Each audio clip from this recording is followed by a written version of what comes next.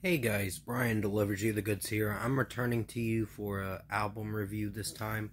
Uh, this is another album review that came out on March 10th that I didn't get to because um, of me taking a break from YouTube and because I had unpacking to do for the next, I think, one or two more weeks. I'm going to be doing some unpacking and then I should be able to get Wi-Fi sometime in late March, early April. But for now, I'm just going to have to use my 4G uh, service. So, yeah, this is for Meet Me at the Altar's new album, Past, Present, Future. So, I'm going to discuss what I listened to for this album and let you know my thoughts on all 11 songs that I got through for this 30 minute runtime. So, let's dive into this album review. Now, it starts with Say It to My Face. The to my face part in is in parentheses. And what I thought of it, I think it's solid. think the lead singer's vocals, which I did review their music um, a year or two ago, if I remember, was one of their EPs, and now they have a debut studio album, and the start of it's pretty good. So, yeah, 4.5 out of 5 for Say It to My Face. I think there's some moments where I like it, and some moments where I'm unsure what I think of it. Then you get to Try, and that's a pretty good song. I really like that one. So the chorus is, shines very well in my opinion. So five out of five for me on that one. Then you get to the third song, Cool, and that one, I am really hating that song. It's just cringe. It's just the way the lead singer is trying playing with her vocals.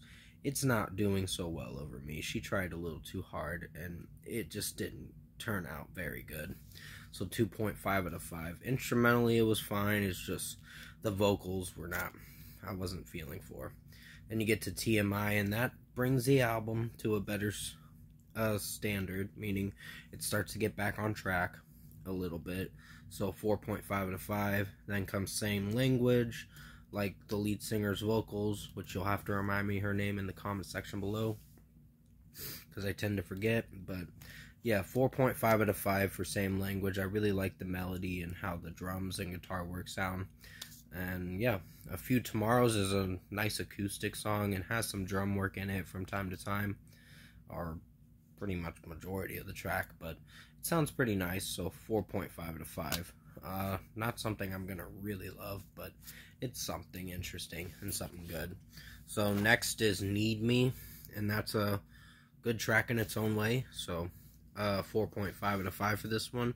Like the lead singer's vocals, like I said. Um, it's Over for Me has some pretty good um, catchy tune catchy tune to it, I guess you could say. So it's pretty catchy with the drum work and guitar work and just mm, lead singer's vocals sound pretty good.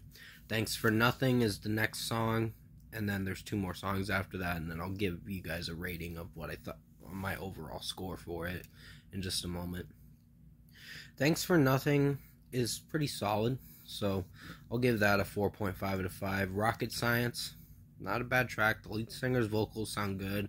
There are a few cringe lines that I have a slight problem with, but other than that, not too bad. So 4.5 out of 5. King of Everything is the final track to this album, and it can rock for sure. And there are times where I think it gets repetitive when the chorus comes in, but it's solid in its own way, so 4.5 out of 5. Overall, for me, I think the only song I had a problem with was Cool, but other than that, this album's average.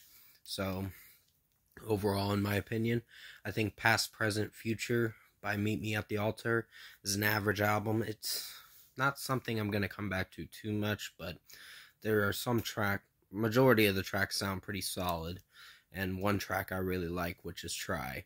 But for an overall score for me, I'd give this a 7.5 out of 10. So it's an average album. It just has one bad song on the album, which is cool.